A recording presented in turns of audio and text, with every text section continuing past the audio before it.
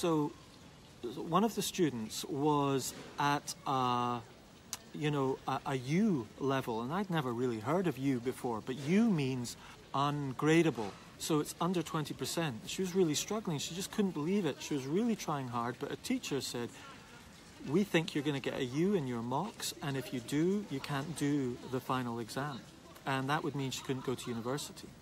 So she mind mapped for the eight weeks, and she got a C plus in her mocks, which was incredible. That's kind of like going from a, a D to an A.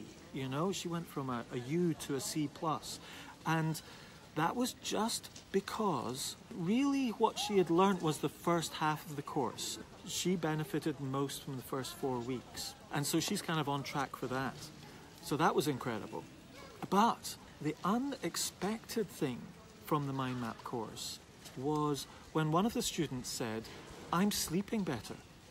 And I asked the mum and the child, You're sleeping better? She was sleeping better because she mind mapped. And that blew my mind. I said, Explain to me how you sleep better because you mind map. Well, they didn't realize it, but what was happening was she was waking up in the middle of the night, weeks before a test, totally stressed out her head. But they didn't realize it was the test because there's so many different things going on in your head when you're stressed. You can't identify it. And it's kind of like an exclusion diet. When you take sort one little thing out, you realize that's the thing that's causing the trouble.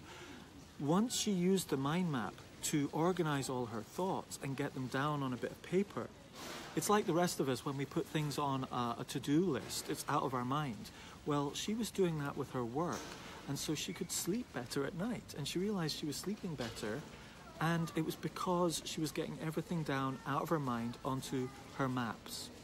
And that blew me away. There's others who have got uh, even better grades, don't want to brag about it, getting A's and B's and things like that. So, better grades, better sleep, but for me, the number one thing is the feeling that you can do it. A lot of them are now feeling, I can do high school. I mean, a simple skill like mind mapping, and it can change you from thinking, I can't do high school to I can do high school. I know what it's like, but it's so hard to make people realize what it's like and to start seeing other teenagers and parents switch on and go, I thought I knew what mind mapping was, and now I really know what mind mapping is because I've experienced it. And that's when you know a course has worked. That's when you know that light goes on and, they, and that you can see it on the video even sometimes when you're talking and they go, Oh, I get it. And then they're off doing the map and organizing it and so on, and you start seeing the benefit.